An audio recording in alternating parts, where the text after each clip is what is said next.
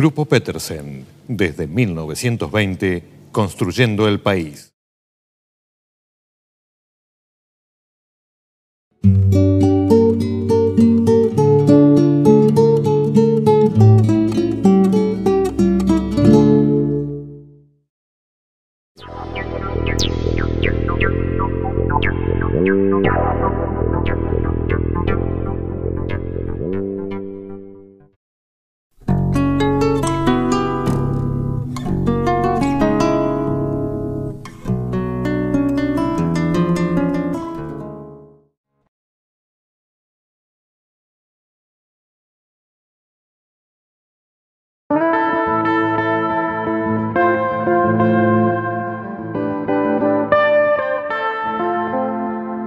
¿Quién alguna vez, para llamar la atención de una jovencita y enamorarla, no se animó en un fogón, en la adolescencia y no tanto, a cantar el témpano, pensando a priori que lo podría hacer con facilidad y hundiéndose luego en la profundidad del mar de la impotencia como el Titanic, pero con témpano y todo? ¿Quién no volvió alguna vez caminando en la soledad de la madrugada porteña, silbando bajito y acompañado en su cabeza de la voz inconfundible y poderosa de Juan Carlos Baglietto. Él nos trajo a Rosario nuevamente y él es una parte fundamental del rock nacional. Pero también es un artista tan elástico y tan atento que pudo meterse en otros géneros, en el tango, en el folclore, siempre con un espíritu renovador y es el responsable de que muchos jóvenes se hayan acercado a estos géneros musicales. Además, es un laburante en todo sentido, un tipo simple y accesible que tiene la humildad de los grandes artistas. Tocar con él es siempre un privilegio y una aventura inesperada, por el gran sentido del humor que tiene, por el enorme manejo del escenario y de los tiempos actorales que debe tener también un cantor. Ah, pero está, bueno, andás a ver todo el pichoneo esto, ¿a dónde va a parar esto? hay cosas, ¿viste? Sí. Sí, suena, suena gente acá. Ay, tenés un Roland. Ah.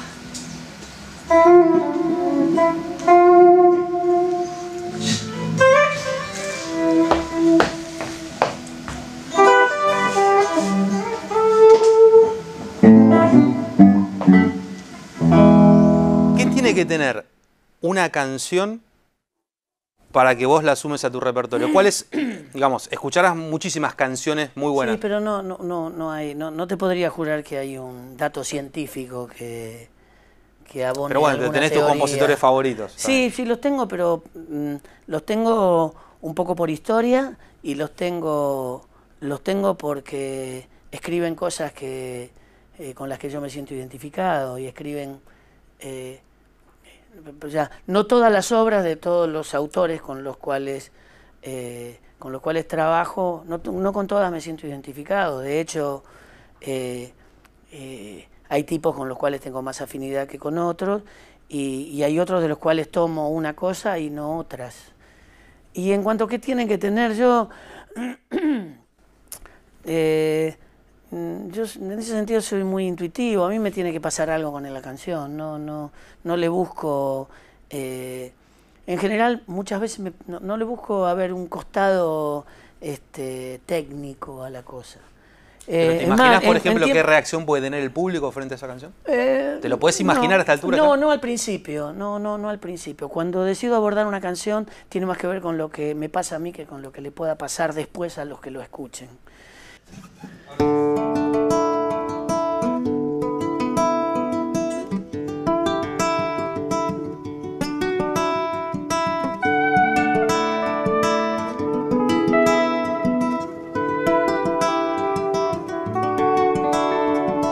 Cuando me despierte cada día con el cuerpo de aire y ese olor, feliz del sueño manso de las lilas, sin miedo al movimiento y al dolor. ya no tenga casi nada de sangre en la garganta de papel, ni un agrio pez nadando en la mirada, ni quiera más amparo que la piel. Van a ser los días esos barcos de luz que una vez pude escribir y la alegría que hemos olvidado, volviendo por los huesos a subir. Yo me alimento con una quimera en que los brazos al sol verán brillar, los brazos de padre en las banderas y una ceniza negra y una ceniza negra y una ceniza negra que se va.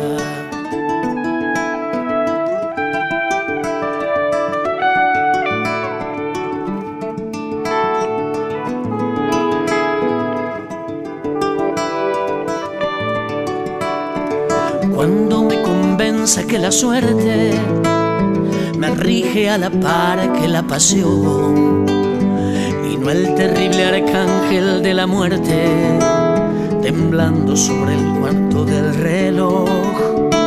Si lo consumado y lo posible tienen siempre la cara del horror en esta patria de lo inaccesible en este tiempo olvidado de Dios.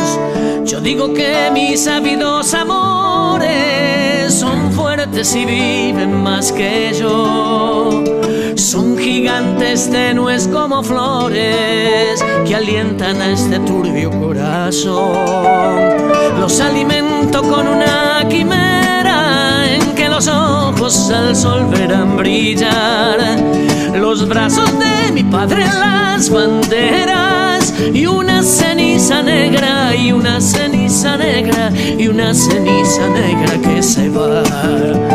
Y una ceniza negra y una ceniza negra y una ceniza negra que se va. Y una ceniza negra y una ceniza negra y una ceniza negra que se va.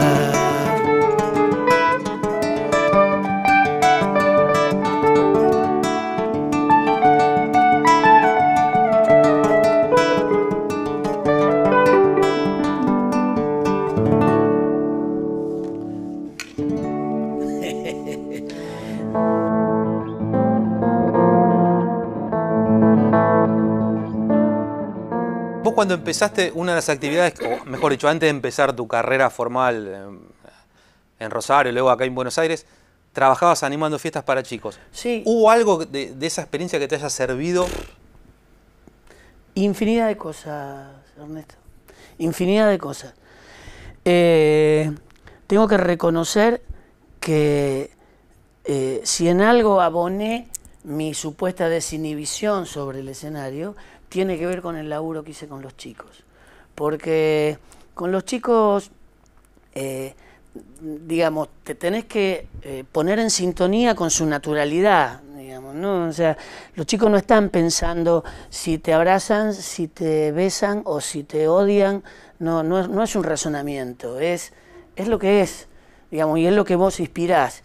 Y durante mucho tiempo, además, para tratar de estar más cercanos a ellos, eh, uno trata de, de, imitar las acciones, no ponerte, ah, te, te, te, te, te, te, te, sino en, nada, viste, como alguno que decís, viste, eh, sino de no adoptar una, una posición lejana, a tal punto que yo no me dejé ni la barba ni los bigotes durante todo el tiempo que animé fiestas infantiles porque me parecía que era como generar una distancia demasiado grande con los chicos.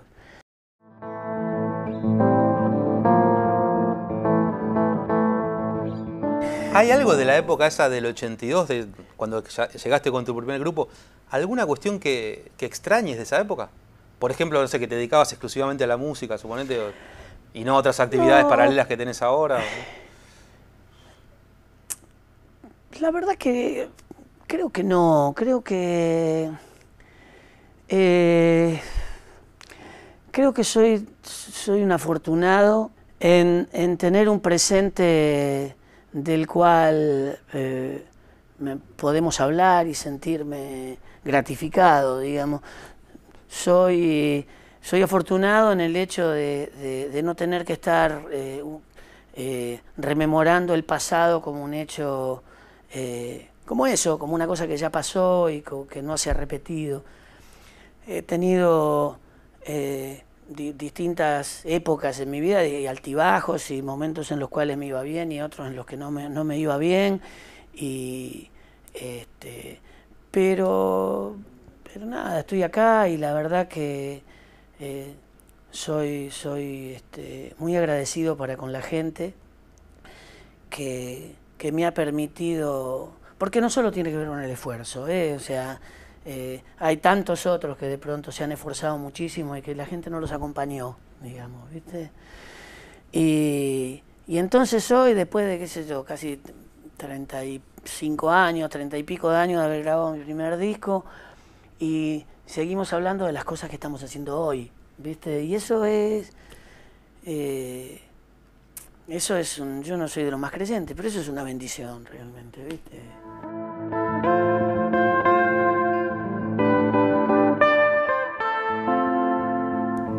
La vez que tuviste el accidente, que estuviste parado cinco meses, ¿en algún momento se te cruzó por la cabeza dejar de cantar?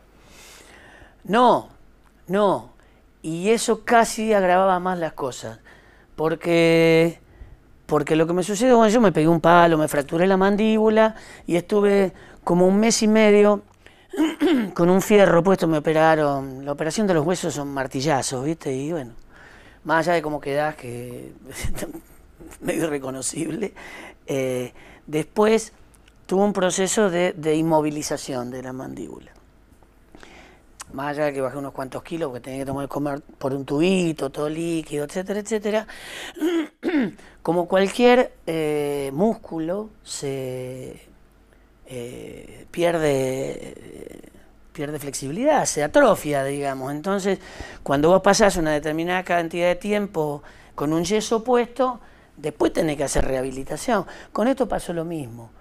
y yo nunca tuve eh, en mente no poder cantar. Y de golpe, no pude cantar. Y de golpe dije, ah, bueno, pero ¿cómo es esto? ¿Viste? Y me, y me hizo un crack la cabeza tremendo, ¿viste? Porque además me enfrentó ante la posibilidad concreta de la muerte. Y, y, que no son cosas que yo pensara, ¿viste? No son cosas que yo pensara como posible. El que se muere siempre es otro, ¿viste? No uno.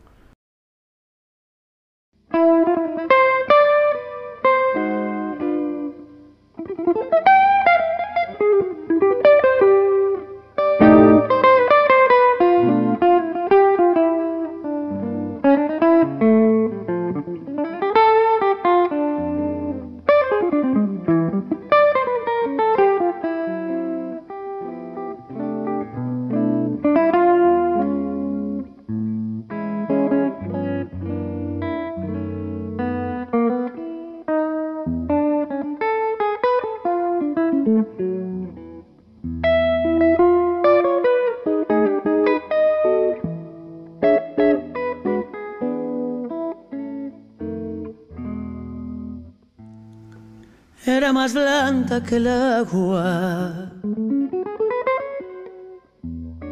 que el agua blanda. Era más fresca que el río, naranjo en flor y en esa calle de estío calle perdida dejó un pedazo de vida y se marchó.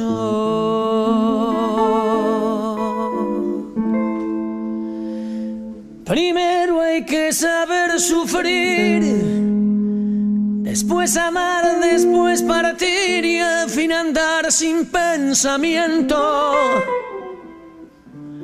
perfume de naranjo en flor, promesas vanas de un amor que se escaparon con el viento. Después, ¿qué importa del después? Toda mi vida es el ayer que me detiene en el pasado. Eterna y vieja juventud que me ha dejado acobardado como un pájaro sin luz. ¿Qué le habrán hecho mis manos? ¿Qué le habrán hecho para dejarme en el pecho tanto dolor,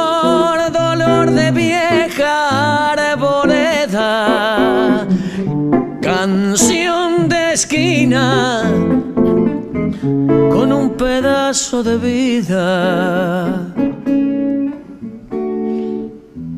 naranjo en flor.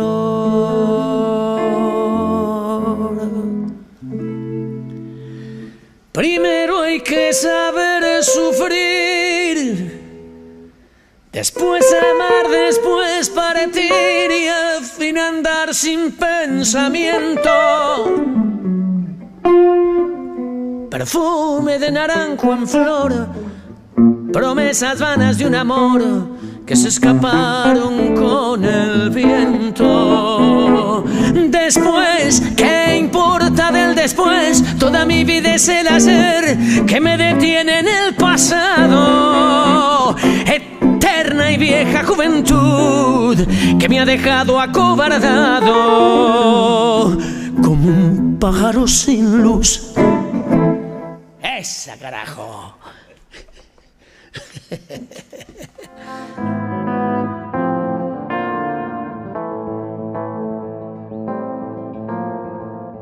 Y actualmente, ¿tenés algún cuidado para con tu voz, alguna rutina, algún ejercicio? ¿La Sí. cuidás de alguna manera? No como piedras. ¿Haces ejercicio? Ni no? piedra pomes, no. Nada. No, no, no. A ver, tengo una vida eh, más ordenada dentro de lo desordenado que, que, es la vida de un tipo que se va bastante de gira y que tiene que compatibilizar el laburo del artista con el laburo de padre de, y marido y qué sé yo, y padre sobre todo además de hijos chicos. Yo tengo, tengo Clarita de 5 y Fermín de 8, y después tengo dos más grandes, ¿no? De la primera gestión a Joaquín de 16 y a Julián de 22 que toca, que toca con nosotros. Eh, entonces todo eso es, es una especie de cóctel en el cual eh, yo no hago vida de músico. Yo me levanto a las seis y media de la mañana, llevo a los chicos al colegio, voy a la oficina y después a la noche canto. Eh, entonces es bastante difícil ser muy metódico, pero sí, digamos, no, no, he superado ampliamente mis épocas de escarnio y mal olor, ¿no? Este, las épocas en las cuales directamente pasábamos de largo y, pues, no comía y viste y whisky, pim pim y qué sé yo, y vos decís, no es vida eso. Eh, por suerte son etapas que uno, que uno transita y por suerte tiene cosas más importantes que esa pelotudez. Entonces, este, eh, yo creo que tiene mucho que ver también los hijos, te, te ponen en un lugar que, viste, ah, se terminó la joda, ya está, viste, ya. Ya si boludeaste, ya boludeaste, y si no, te quedará como una asignatura pendiente porque se terminó el boludeo con los pibes, viste, no. Y si no, atajate Catalina porque se te viene una complicada en serio, ¿no? Yo digo siempre, viste, de pronto me encuentro con gente con la que transitamos en algún momento esa, es- esos vicios y esa trasnochada y qué sé yo, que de pronto siguen en eso. Yo te digo una cosa, loco, rock and roll es levantarse a las seis y media de la mañana e ir a la reunión de padres. Eso es rock and roll. eh. No es este salimos de joda, todos chupamos, mina. Eso es rock and roll.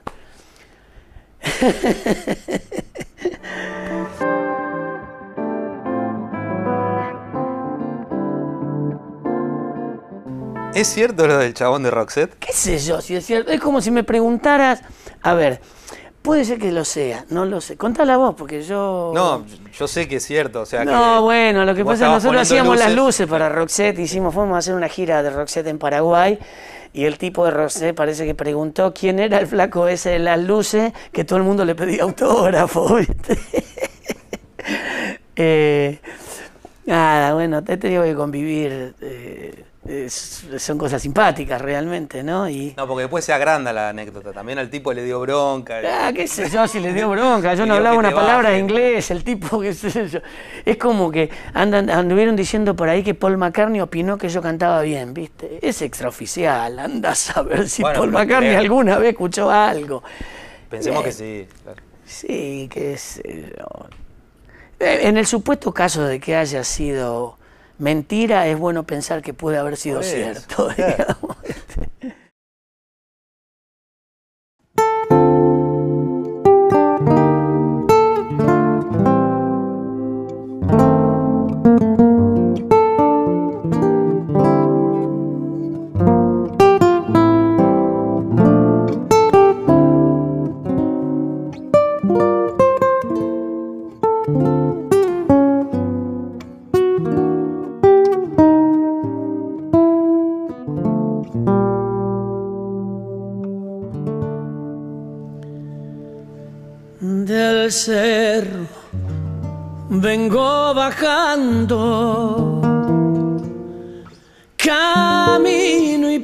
piedra. Traigo enredada en el alma vida, una tristeza traigo enredada en el alma vida una tristeza. Acusas de no quererte, no digas eso.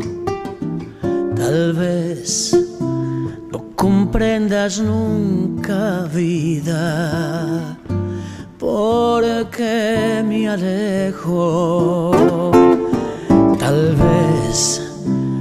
Comprendas nunca vida, porque me alejo. Es mi destino. Piedra y camino sueño lejano y bello, vida. Soy peregrino de un sueño lejano y bello, vida. Soy peregrino.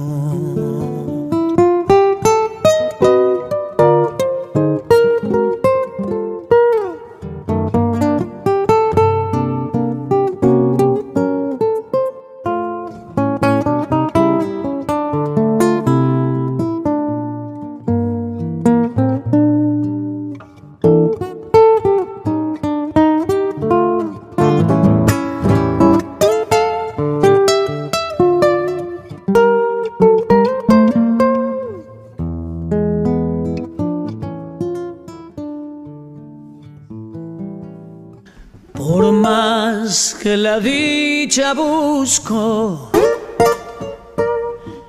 Vivo penando. Y cuando debo quedarme vida, me voy andando. Y cuando debo quedarme vida,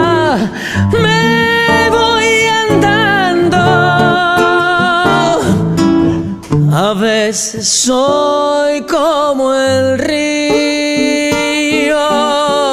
llego cantando y sin que nadie lo sepa, vida, me voy andando. Y sin